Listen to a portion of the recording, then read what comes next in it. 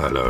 Uh, Mr. Rangeman, we have something of yours. I'm sorry, but I'm not missing anything. You don't understand, Mr. Rangeman. This is something you've been waiting for, for a very long time. Mr. Rangeman. Mr. Rangeman.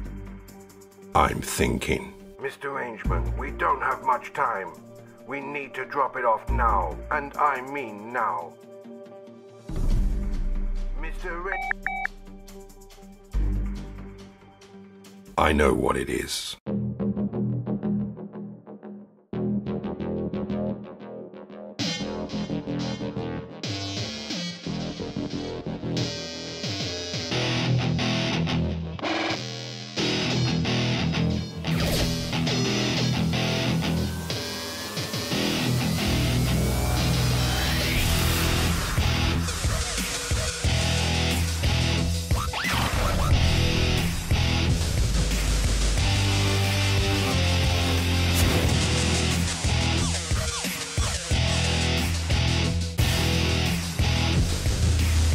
As always, thanks for watching.